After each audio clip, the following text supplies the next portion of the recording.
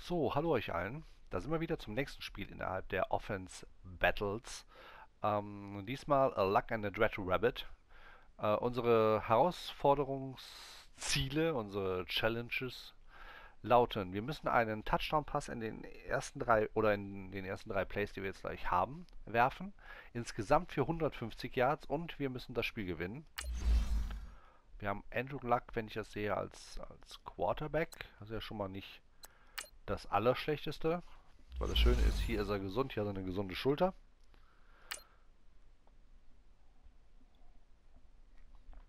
Wobei ich sagen muss, bis jetzt sieht es ja auch in der NFL sehr gut aus, dass er gesund bleibt, was ihm echt ähm, zu wünschen zu wünschen wäre, dass er das bleibt.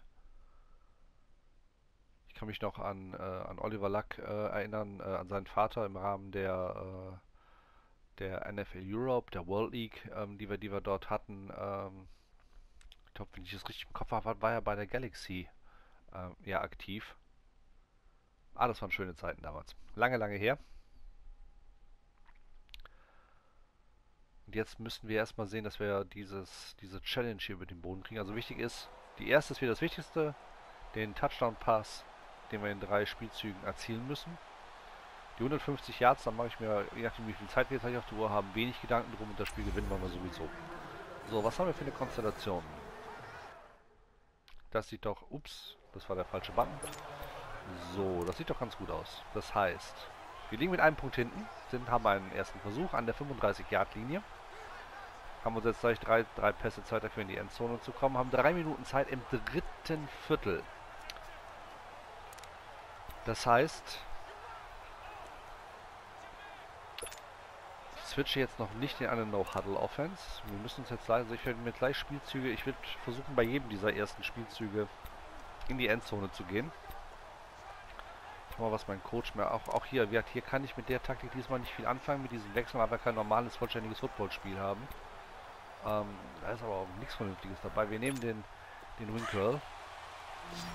So. Hopkins und Elliott als mögliche Receiver. Ich werde mich auf Hopkins versuchen zu konzentrieren. Kann ich nicht. Ich muss auf Elliott gehen. Elliott ist frei. Sehr schöner Spielzug sehr, sehr gut. Da haben wir schon mit einem ersten Pass 32 Yards gemacht. Hopkins war komplett zu. Ich habe dann gesehen, dass da eine Lücke ist für Elliott. Da haben wir den Ball reingelegt und das hat funktioniert. So, jetzt sind wir, haben wir First and Goal an der 3-Yard-Linie. Ähm, die Option jetzt äh, in die Endzone zu laufen, wie ich es ja sehr, sehr gerne mit meinem Quarterback gerade mache, kann ich ja hier vergessen. Ich muss in die Endzone kommen, aber per Pass. Ähm, keine Chance, Tate war gerade dabei, sich freizulaufen, aber da wurde ich schon von Charles Sachs in den Boden gerammt. Das ist, glaube ich, genau die richtige Bezeichnung dafür. Das heißt, wenn ich Charles Sachs, dann würde ich mal sagen, spielen wir hier gerade gegen die London Black Knights mit Spielern der Baltimore Ravens. So, Hopkins und Owens als Receiver. Zweiter und Goal. Erstmal. Oh, oh, oh. Shen Sharp war frei, aber da habe ich nicht viel Druck hinter den Pass bekommen. Ja, damit haben wir es leider versägt, weil wir haben ja nur drei Plays. Das habe ich jetzt nämlich vergessen. Also, Restart. Wir gehen neu rein. Alles wie gehabt. Unser schöner erster Pass, den wir da haben, ist leider komplett Makulatur geworden. Es geht wieder komplett von vorne los. Skinny Posts wählen wir. So, das heißt Hopkins und Owens als Receiver. Wir haben nur einen Safety da hinten. Das heißt, einer von den beiden wird den Ball auf jeden Fall bekommen. Aber die Frage ist nur wer. Schauen wir mal, der Safety geht ein. Das heißt, ich gehe auf Hopkins. Er tankt sich durch, immer noch auf den Beinen, immer noch im Tank-Modus. Stehen wir an der 4-Yard-Linie. Ich erkenne gewisse Parallelen. So, erster Spielzug. Jetzt haben wir den zweiten Spielzug. Wir wählen einen Stick-Spielzug aus. Und hoffen, dass wir nicht wieder gleich in den Boden gerammt werden. Deswegen wähle ich jetzt auch eine Max Protection aus für meinen Quarterback. Das heißt, mein, mein Running Back rufe ich zurück. Oh, da ist Sharp frei. Da ist mein Tight End frei. Habe ich gedacht zumindest. Frei war er, aber der Passweg war nicht frei. Das ist doch ein Best-of. Tree, äh, den ich eben gesehen habe, der spielt doch bei den äh, Chicago Bears. Dann ist es hier doch gemischt. Das heißt, wir haben einen zweiten Versuch ein Goal, aber es ist unser dritter Versuch, mit dem wir in die Endzone kommen müssen, um den Touchdown zu erzielen. Das heißt, wir müssen jetzt in die Endzone werfen, auf Teufel komm raus. So, Owens ist frei, da ist der Touchdown. Da war eine Riesenlücke. So, da haben wir das Wichtigste, das Schwierigste eigentlich schon erledigt damit. Wir müssten jetzt noch 115 Yards durch die, durch die Luft gehen. Da mache ich mir eigentlich relativ wenig Sorgen drum. Da haben wir noch gut viel Zeit. Aber 115 Yards heißt quasi, das sind zwei Drives. Das heißt, auch unsere Defense muss jetzt gleich gut performen. Two-Minute Warning. Äh, Two-Minute Warning, Two-Point Conversion. Versuche ich selbst zu gehen, komme nicht rein. Ich vergesse, ich habe ja nicht, ich, ich habe ja nicht meinen, meinen Stammquarterback, meinen Dak Prescott dort stehen, sondern jetzt diesmal ähm, Andrew Luck. Ein toller Quarterback, aber ist natürlich vom Scramblen her, ähm, ist Prescott ihm ja weit überlegen. So, da kommt der Kickoff. Wie gesagt, unsere Defense muss mitspielen. Wir müssen auf jeden Fall mindestens zweimal den Ball bekommen. Also zwei vollständige Drives von relativ weit hinten. Aber erstmal haben die London Black Knights den Ball.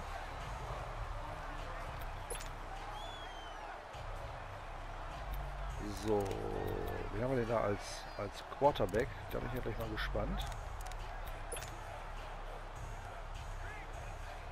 So, Strategy, wir blitzen im ersten Versuch. Dann sind es... Ach, Entschuldigung, ich habe mich eben... Äh, ich habe versucht, wir sind... Wir sind... Äh, ich sehe Flacco, das heißt, das sind die, die Baltimore Ravens. Schöner Lauf, aber Howard spielt das... Das ist wirklich... Das ist hier äh, durcheinander gemischt. Weil Howard spielt bei den Bears, da bin ich mir genauso sicher. So, zweiter und sechs. Sagen wir so, uns ist jetzt mal egal, wer der Gegner ist. Wir wollen die wir haben hier eine Aufgabe zu erfüllen. Und das versuchen wir jetzt mal umzusetzen. Vollständiger Pass von Flacco. Neuer erster Versuch für die London Black Knights. Ich werde nachher auf jeden Fall in eine äh, No-Huddle-Offense wechseln müssen. Sonst kriegen wir hier ein Zeitproblem. Weil die geforderten Yards durch die Luft zu bringen, das ist schon eine Nummer. So, wieder Flecko. Da haben wir eine Flagge. Voll Start. Weil ich habe... Ja, so ist es.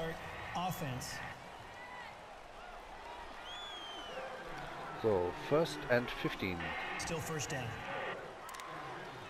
Da tut man seiner, seiner Offense nie einen Gefallen mit. Das sind fünf Yards, die echt doof sind. Gerade für die, für die, äh, gut, das ist ja die, das Auswärtsteam. Da kann das, da kann das nochmal eher passieren als beim Heimteam. Flecko. Boah, sehr schön. Wie Markus Ware mit dem Sack. Allerdings, das war nicht nur ein Sack, hat glaube ich auch noch versucht, Flecko den Kopf abzureißen, so wie es aussah. Zweiter und 24. Das heißt, wir gehen jetzt in eine Cover 4. Und schauen mal, was die London Black Knights daraus jetzt machen. Schöner, schöner Lauf von Howard. Der ist immer noch auf den Beinen. Der kann ihn mal einer berühren. Freunde der Nacht. Meine Güte. Da sahen wir aber nicht gut aus. Ähm, Dritter und 13. Jetzt in eine Cover 3. Das heißt, vier Leute, die ich in die, in die ähm, zweite Linie setze. Einfach nur, um damit so etwas wie mit Howard jetzt gerade eben nicht nochmal passiert. Wieder viel Druck. Incomplete. Das war ein Screen Pass, der geplant war. Unvollständiger Versuch das war das Ende des dritten Quarters, wenn ich es richtig gesehen habe. Genau so ist es. Das heißt, wir sind jetzt im vierten Quarter und da sieht man jetzt schon das Problem, was wir bekommen. Oh, die gehen den Cover 9. Ähm, ich werde Probleme kriegen, mein Herz voll zu kriegen.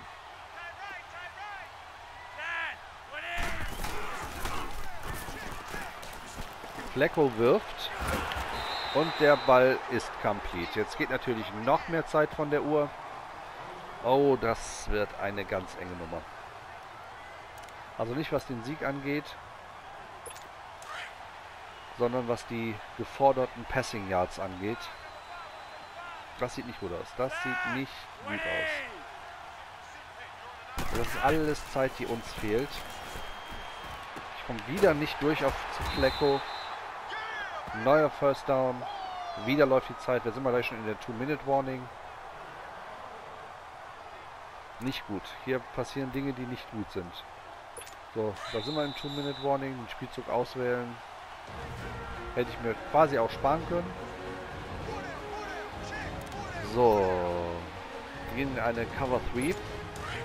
Flecko nimmt uns hier wirklich nach allen Regeln der Kunst auseinander. Wir brauchen den Ball.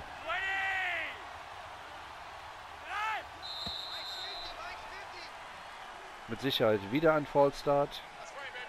Jo. Aber wir wissen alle, das äh, juckt die, die London Black Knights überhaupt nicht. Das hat sie eben auch nicht genutzt. Wir gehen in eine Cover 4. First and 15.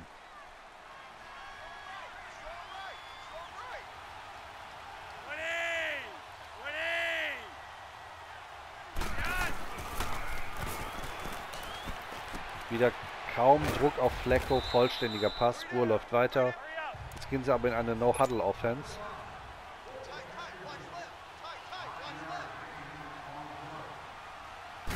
Zweiter und 10. Wieder vollständiger Pass, wieder läuft die Uhr weiter. Machen wir, ich blitze Overstorm Brave.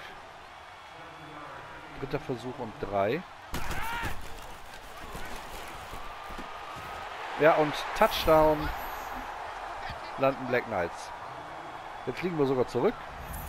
Also das Spiel läuft. Alles, was in einem äh, in diesem, in diesem Challenge-Spiel schlecht laufen kann, läuft hier gerade schlecht.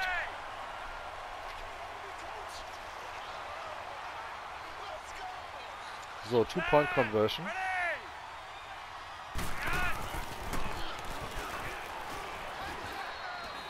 Ja, Flecko hat da hinten Zeit, der kann sich noch ein Butterbrot machen. Ja, er wird immer noch nicht das ist unfassbar.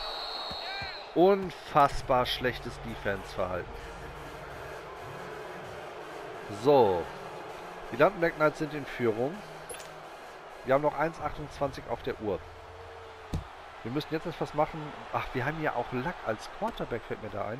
So, ich werde hier gar nicht link, äh, äh groß retournieren. Ich brauche ja Passing, Passing Yards. Das heißt, ich fange jetzt an der eigenen 1-Yard-Linie an. Werde versuchen, den Ball hier rauszuhauen. Four Verticals geht genau in meine Richtung. Max Protection. So, ich gehe auf Hopkins, ich gehe auf Sharp, ich gehe auf Owens. Wir müssen Passing Yards machen. Los geht's. So, Sharp hat den Ball. No Huddle Offense. Kommt, Jungs. So, noch 90 Yards, die wir benötigen. So, gleiches Spiel wieder.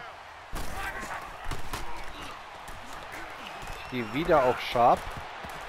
Und da hätte ich fast eine Interception bekommen. Da waren alle Receiver sehr, sehr gut abgedeckt.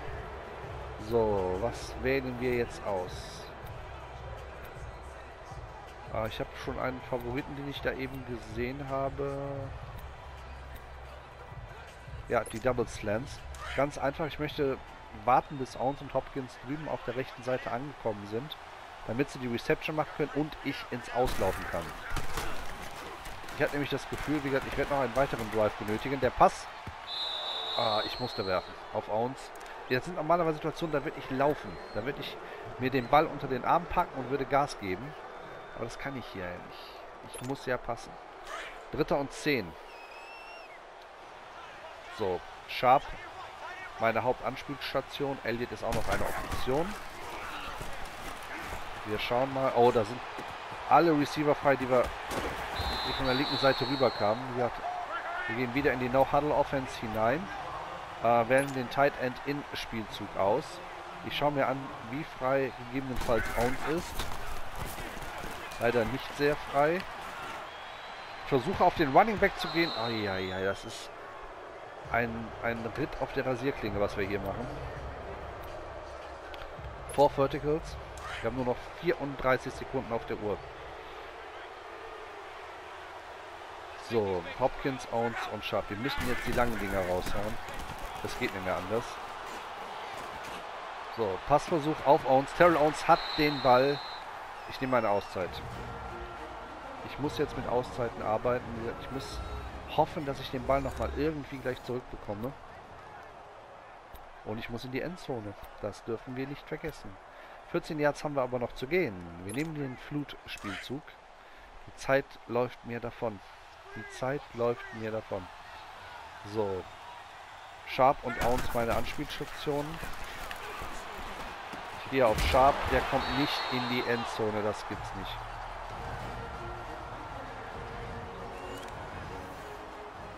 Wir sind an der 1-Yard-Linie. Jetzt hast du schon wieder eine Auszeit gekostet.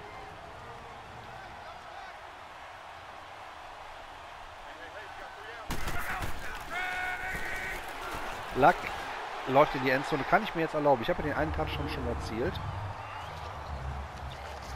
Aber nur noch 17 Sekunden auf der Uhr. Mann, Mann, Mann, Mann, Mann. Ich muss jetzt gleich etwas sehr Kurioses... Ich muss jetzt gleich eine Two-Point-Conversion probieren. Ich muss jetzt gleich eine, Entschuldigung, einen Onside-Kick probieren. Damit ich versuchen kann, wieder in Ballbesitz zu kommen.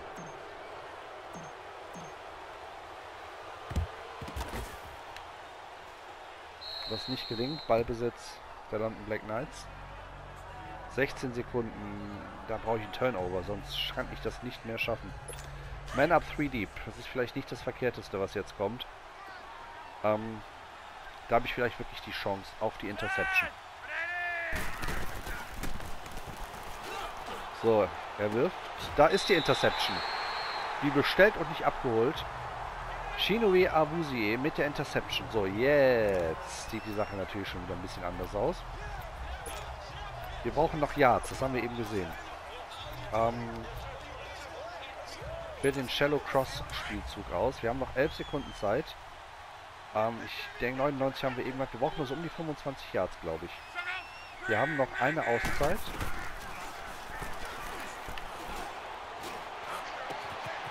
Schöner langer Pass. So, ich nehme mal direkt die Auszeit, weil ich jetzt gerade nicht weiß, ob das schon gereicht hat. Und deswegen gehen wir noch einen, legen wir noch einen Sicherheitspass oben drauf. Also sprich einen Double Slam. Ich versuche mit Ounce noch Yards zu machen auf der äußeren Seite. Was nicht gelingt. Jetzt kann ich nur hoffen, dass das gereicht hat. Hat es gereicht? Es hat gereicht. Damit haben wir die Challenge erfüllt. Vielen Dank, bis zum nächsten Mal. Ciao.